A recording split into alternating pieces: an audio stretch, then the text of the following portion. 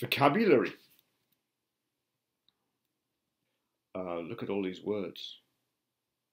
And I have a quick question to start with. Um, what do you think are the most common words in English? Here are the top 10 words. There you go. Did you um, did you get did you guess these? Uh, just a note about this top 10. The top 10 is slightly different depending on what kind of English we're talking about. So, for example, spoken English and fiction and non fiction, academic writing, conversation and scripted speeches and unscripted speeches are, are different. So um, I'm now talking, this is an unscripted speech. So I'm talking mostly from memory. Um, if I was to have a conversation, I'd be using different words. If you notice, conversation, I and you are very common words. Um, in academic writing, we don't use I and you at all. Um, in fiction, I is used. We also use he and she. So the different, the slight differences between these different kinds of situations when we're using English, but basically it's a very similar collection of words. They're all um, very short words. And next question, um, what percentage of English is written with these words? What do you think if I was to take all the books in the library, pair of scissors, cut out each word and make little piles, which would be the, which would, these 10 words would make up what percent do you think? Um, it's in fact, it's um, 25%. So this is, um, I guess, good news. If you know these 10 words, you know 25% of everything that has been written in English. That's the good news. Um, maybe less good news. Um, well, here's a question. Um, what are these words in Japanese? What is the in Japanese? Um, I don't think there is a word for the in Japanese. And in fact, if we look through this list, most of these words do not have a direct word in Japanese. Even um, I is a fairly simple word, but in Japanese there are many different ways to say I. Um, watashi, if you look in a dictionary, but most people don't say watashi. People say ore, boku, uh, sensei wa, if I'm the teacher. Um, some people use their names. So there, there are many different ways to say I in Japanese. So even even a word like I doesn't have a um, doesn't have a simple translation. Let's look at the word to. What does to mean? Um, I'm about to go to Tokyo to attend to some business. Uh, if we look at to in this sentence, um, we can see different uses about to, uh, to a place, uh, to plus infinitive, um, to walk, to dance, to go, and to attend to, attend to is a different meaning to attend. Uh, so we can see that to is, it's very difficult to say what the word to means, but we can say it's a very useful word.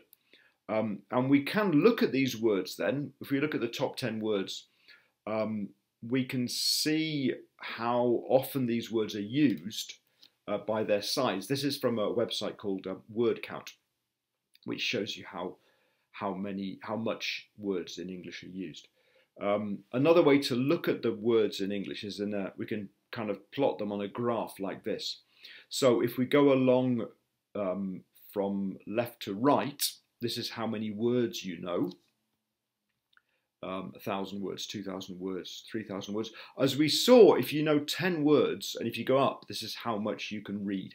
So if you know 10 words, you've got about 25%. 100 words, you're up to 50%. Um, and a 1,000 words is up to something like 75%.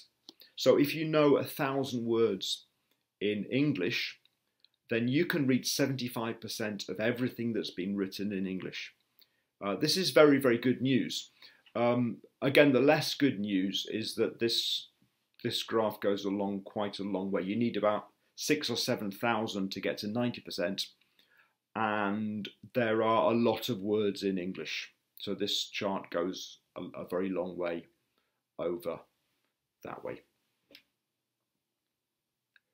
So, um, just to, to uh, digress to um, junior high school, this is a um, this is a junior high school textbook. Now, junior high school first year is when many students in Japan start studying English. Uh, there's one word on this page um, that is is a bit strange um, for some students who've been learning English for a few weeks or a few months. Um, and the strange word um, is grandchild.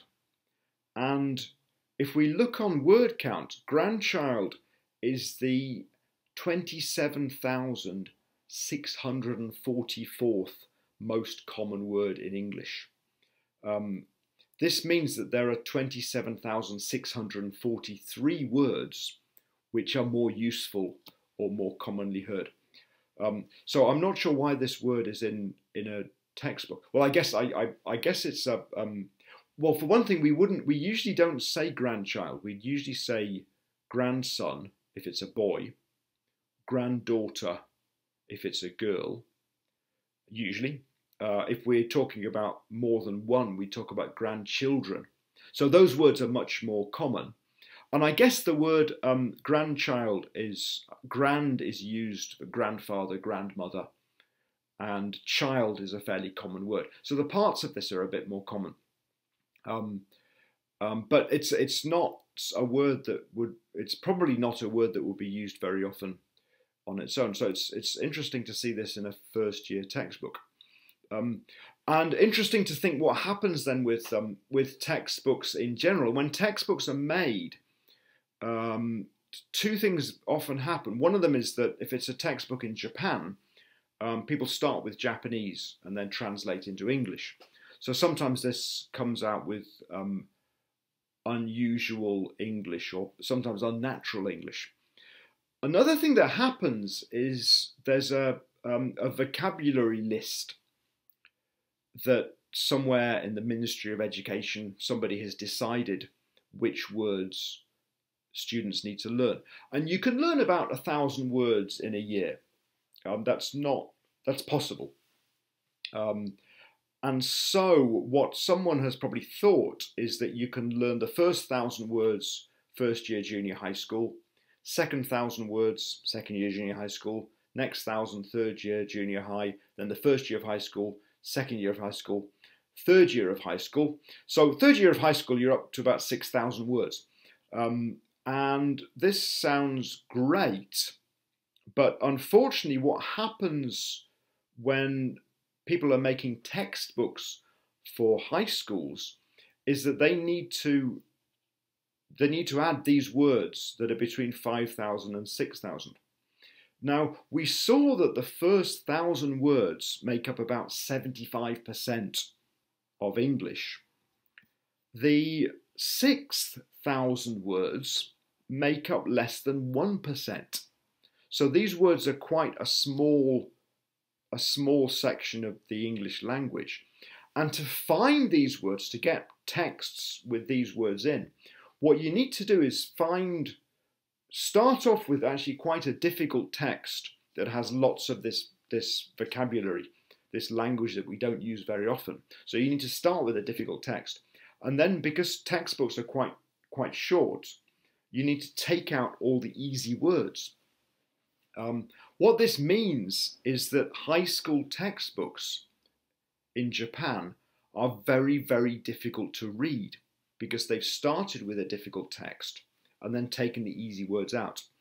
Um, so, in fact, they're more difficult than many that many academic journals or many things that university students in other countries, English-speaking countries, will read. Um, so, um, this is possibly a problem Um, and uh, the other problem is, of course, that if you're studying all these difficult words here, some of the first thousand words you may not have seen since those first year junior high school textbooks six years ago. Uh, and, and as I've said, these words, the first thousand words are very, very important. Um, so when you're reading, as you're reading, um, as you're reading these books, um, there are three very important ideas that you need to know about. Um, these are head words, word count, and coverage. Now, um, word count is the total number of words in your book, um, and head words is the number of different words. And I'll just give you an example of um, head words. This is from um, a book by Oxford University Press. And uh, this is the passage from the book. This is 53 words long. So if we're counting words, there are 53. But as you can see from this, there are several words that are repeated. So of course, in English, we use the words, we use words again and again. Um, and in fact, there are only 34 different words in this text. So there are 53 words, the word count, but there are 34 words, the number of head words. Um, so, uh, my question then is how many words do you need to know? So, if you're reading in English, um, as you know, uh, if you come to a word you don't know, you should ignore it, skip it, and keep reading. Um, but how many how many words can you do that to? So how many words can you ignore and skip, and still follow the story, still enjoy reading? What do you think? Think of a think of a percentage. Um, or another way to think about this is if you've got a page, there's a page in your book, and if the page has a hundred words on it, there's probably about hundred words on here.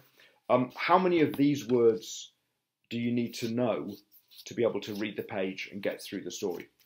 Um, have a think, then come back and um, let's see what see what uh, we, I'm going to do an experiment and try and find the answer.